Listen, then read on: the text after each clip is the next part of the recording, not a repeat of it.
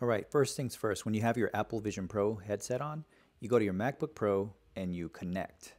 And it's going to bring up a large screen. Thanks for joining me today. We're going to be talking about how to sort through your photos using Adobe Bridge and then maybe do some photo editing in Adobe Photoshop. So right now, as soon as you connect the Apple Vision Pro to a MacBook, you're going to blow the screen up to a 4K display that you can resize anywhere you want in the spatial area. Seeing your photos in such a large scale format, I think it's going to make a better experience and it's going to help guide your decisions on if you have, you know, photos that are sort of the same shot. It's going to help you uh, decide which one to select so you're not editing multiple photos of the same ones, right? Um, the good thing is when somebody walks into the room as you're doing the work, you're able to, to be aware of your surroundings. Uh, so, you know, I'm, I'm, looking through my photos right now. Um, I think it helps quite a bit to see your photos this large. And if you kind of look in there and you're using the mouse, you're using the keyboard from the Mac, so the gestures aren't something that you could do outside of just controlling the window that you're you're using. Um, so you you are bound to the mouse and keyboard at this point, but it's still like an external monitor that you're using from the MacBook, and so I think it helps out quite a bit to see your photos scaled up this large, and you don't lose any quality. It's all sharp and crisp. So if you're sorting through photos that have some similar shots, it's easy to guide you to make those decisions for which photo you want to edit. All right, so we're gonna jump into some photo editing. I'm gonna bring one of these photographs into Adobe Photoshop and run a recipe on it, and I'm gonna switch over to the Vision Pro microphone. I'm going to bring this one in in Camera Raw. There's no gestures that work, no pinching, so you're again, this is just a monitor, a large monitor, and I can start making my edits. You know, I'm, I'm to do a quick edit to see, you know, what that would look like. Usually I, I like to just shoot out of the camera without making too many edits. Maybe some subtle subtle edits. It's gonna open up in Photoshop. Man, Photoshop looks humongous on this one. So I got some recipes and I use Nik Collections to do some of the, the, edits that I do. Some quick recipes to give it a specific look and then I go in there and edit it in black and white. It processes the image. This is pretty fun actually, you know. I don't know if I could edit for hours on this, but it definitely makes it easier for me to make my photo selections, edit one. You know, it's just, it's really fun to see it in this screen like this. And then you're editing it's like editing in a theater. It's like that's what it would feel like. You can hook up your MacBook to you know a you know an IMAX theater of some kind, and just start editing your photos, which I think would be really cool. But only there's there's a sharpness to it, and you have control. Like even if you wanted to kind of make arrangements as you're editing, you can do that. Like I'm bringing it closer to me, so that's cool. That's a neutral recipe I have, and you know something more high contrast, which uh, I normally love putting things at high contrast for my for my edits.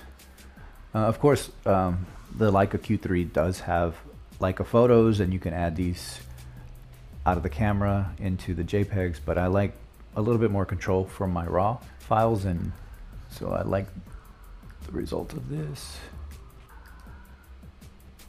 No, see which filter. That's kind of cool.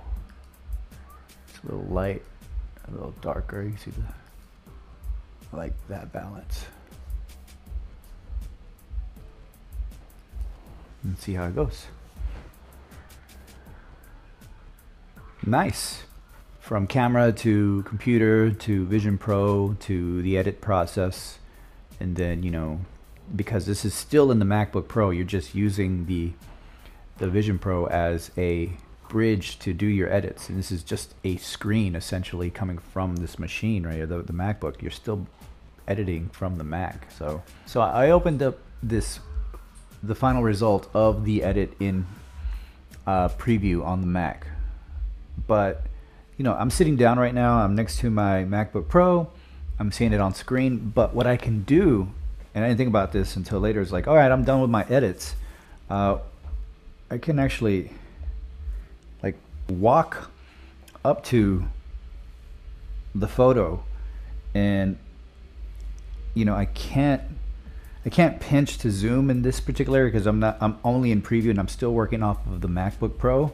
So it's like I'm going up to the monitor. So I can walk up to the image and like examine it you know like if it's on this huge wall. Like look.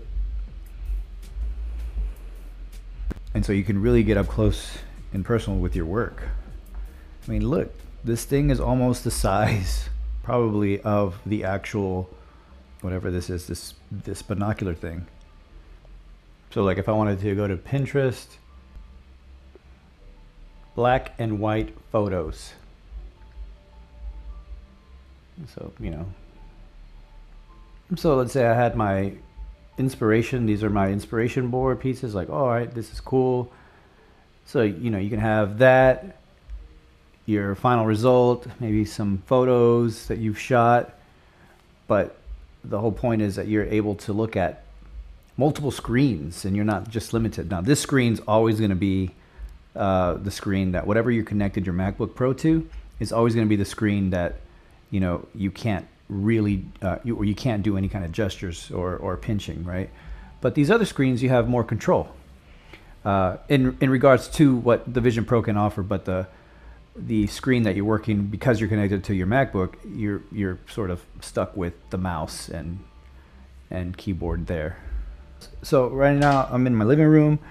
I have all this distractions, but what you could do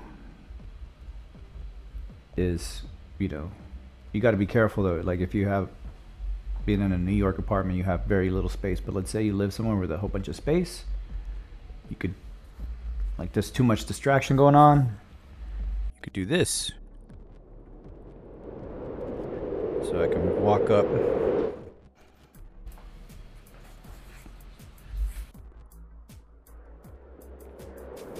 All right. So I'm in my environment. It's moon. Let's see. Day star right here. Let's see, edit. Let's see.